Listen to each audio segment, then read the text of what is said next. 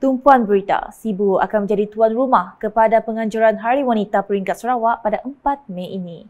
Menteri Pembangunan Wanita, Kanak-Kanak dan Kesejahteraan Komuniti Sarawak, Datuk Sri Fatimah Abdullah berkata, satu mesyuarat jawatankuasa kerja telah diadakan di Sibu pada Rabu lepas bagi merangka perancangan sambutan berkenaan.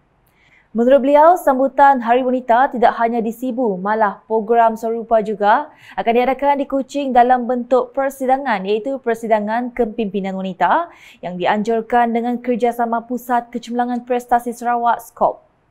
Dan untuk hari sambutan Hari Wanita di Sibu, macam biasa, berbagai pengisian akan diadakan. Tema tahun ini untuk sambutan Hari Wanita ialah um, Sarawak Innovation uh, Sarawak Women in Innovation and Technology. Dan macam biasa, satu buku akan diterbitkan dengan judul yang sama. Um, we hope to be able to, uh, I think the book will be ready, uh, insyaAllah, it will be ready by April. Jadi, uh, personality sudah dipilih untuk dimuatkan di dalam buku tersebut.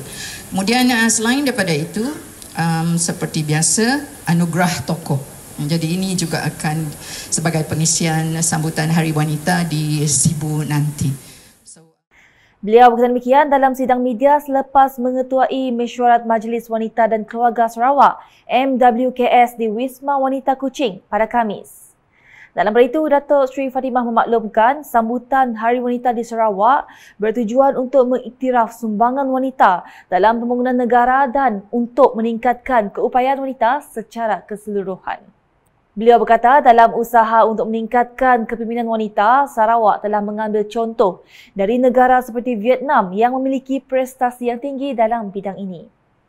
Ya, kita dapati bahawa dari segi kepimpinan wanita, Vietnam ranks very high. Dari segi rankingnya di dunia, it's very high. Dari segi uh, usahawan, bilangan usahawan wanita juga sangat tinggi di Vietnam. So, uh, uh, kita lawatan kerja oleh uh, jabatan telah diluluskan oleh uh, kabinet eh, agar kita dapat belajar daripada um, apa yang dari segi dasar dari segi uh, uh, program yang dijalankan uh, dalam apa nama um, so what we can learn from them especially in terms of uh, leadership eh, how we can increase the numbers of women leaders. Kalau kita